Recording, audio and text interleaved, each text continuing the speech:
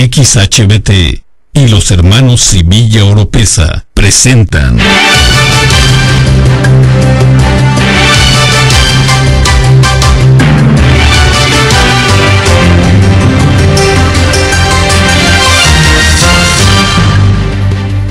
Son las 13 horas, una en punto de la tarde. Esto es Noticias en Flash, edición 20411. Flash. En batería esta es la información. Será decisión de los alcaldes si desisten a la advertencia de no pagar a CFE. Luego del anuncio del gobernador Núñez al respecto, dijo la dirigencia estatal perredista. El borrón y cuenta nueva y la tarifa justa y preferencial es lo que dijo esperar Morena del acuerdo entre CFE y el gobierno del estado. La Comisión Federal de Electricidad anunció que licitará cuatro gasoductos para el país. Con fallas en el suministro eléctrico, el DIF presentó el proyecto del Sendi modelo en el jardín Estefanía Castañeda. A un año de haber iniciado su revisión, el gobierno del estado no tiene certeza si el estacionamiento del PRI, el edificio de la CNOP, son de su propiedad, admitió la Secretaría de Administración. La familia Granier solo ha solicitado el amparo para una propiedad en el centro histórico, reportó la PGJ. A no pagar anuencias a los municipios, llamó de nuevo a los empresarios. La Coparmex descartó algún tipo de arreglo con el municipio de Centro.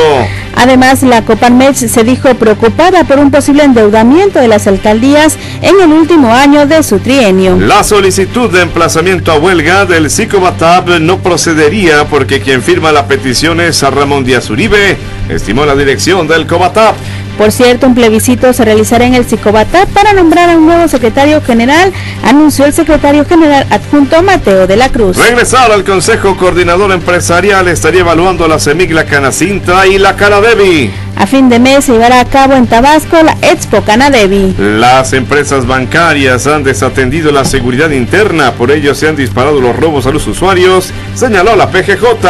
Ninguna carta de recomendación aceptan los jueces para dejar en libertad a los reclusos, aseguró el presidente del Poder Judicial Jorge Priego a la subvención del presunto caso de pederastia en Cárdenas. Por lo pronto, sin consignarse, continuó la averiguación previa por el caso que incluye al alcalde de Cárdenas, Abenamar Pérez. Se deslindó el municipio de Centro, dijo no tener que ver con el relleno de la Laguna de las Ilusiones para construir una vía. El edil Humberto de los Santos aseguró que le corresponde a la Conagua atender los rellenos en los cuerpos de agua. Los mexicanos detenidos en Brasil saldrán libres hasta el próximo viernes. Y en los deportes, Mitzi Carrillo obtuvo bronce para México en Taekwondo en los Juegos Olímpicos de la Juventud.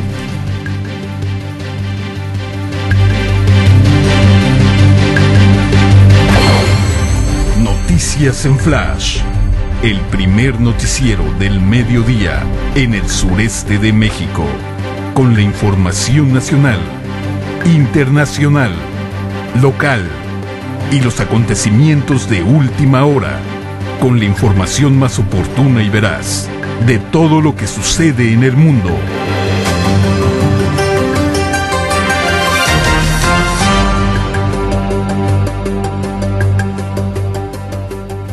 Señoras y señores, amigos nuestros, muy buenas tardes.